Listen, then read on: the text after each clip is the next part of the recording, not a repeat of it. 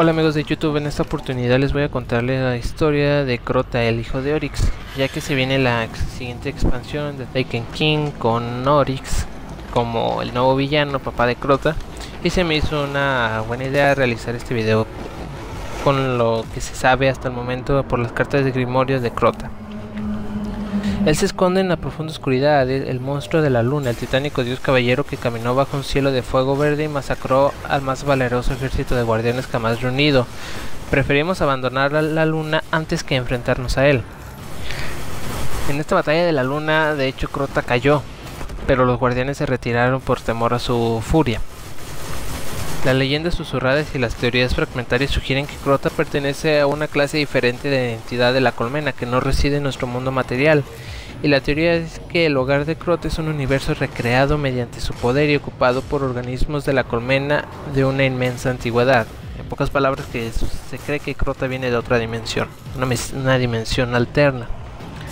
El sobrenombre Hijo de Oryx es una traducción ambigua y bastante controvertida. Hasta ahora no se ha observado ninguna acción directa.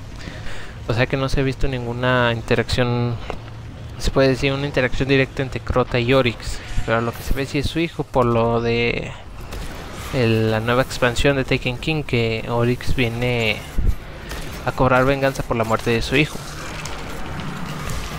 Los aficionados a las leyendas relacionadas con la colmena discuten sobre la ubicación exacta de Crota. Si Crota representa el sumo poder de la colmena o si es el menor de la colmena, que viene siendo lo segundo. Se cree que Crota es el bebé de la colmena, que es el de más débil poder. En la batalla de la luna, como dato curioso, Crota, para los que no sepan, a su ejército y el ejército de Crota es la progenie de Crota, estos acólitos y caballeros y pues también lacayos y magas de color dorado. Ya que hay por ejemplo los rojos y los negros pero los de Crota, la progenie de Crota son los de color dorado. Y ellos fueron los que ayudaron a Crota a exterminar, bueno, a expulsar a, la, a los guardianes de la luna. Bueno este video ha sido un poco corto porque es todo lo que alcance, lo que encontré en el Grimorio y en páginas de internet sobre Crota. De hecho no se sabe bien su origen, si, si es el hijo de Oryx o de dónde proviene.